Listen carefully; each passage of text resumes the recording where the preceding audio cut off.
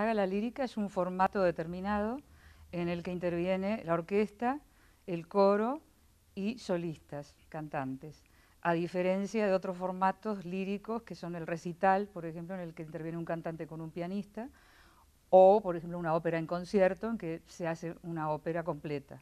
Tenemos a Hernán Iturralde, que es un gran bajo argentino, y tenemos a Iko Senda, que es una soprano japonesa que hace tiempo que vive en nuestro país, y que también es una gran voz. O sea, tratamos de encontrar dos cantantes que pudiesen coincidir en un cierto repertorio y que pudiésemos nosotros armar una, buena, un buen programa. ¿no? Como ellos dos son dos cantantes muy afines a la, música alemana, hicimos toda una primera parte de música alemana y luego una segunda parte de ópera italiana. El coro tiene una, tiene una actuación muy destacada en esta gala porque eh, tiene, eh, tiene, tiene tres intervenciones solos, que es el coro de los cazadores, el coro de los invitados y el va pensiero. Y luego tiene dos intervenciones en las que acompaña a los cantantes, que es en el Te Deum y es en el área esta de Abigail que cierra el concierto.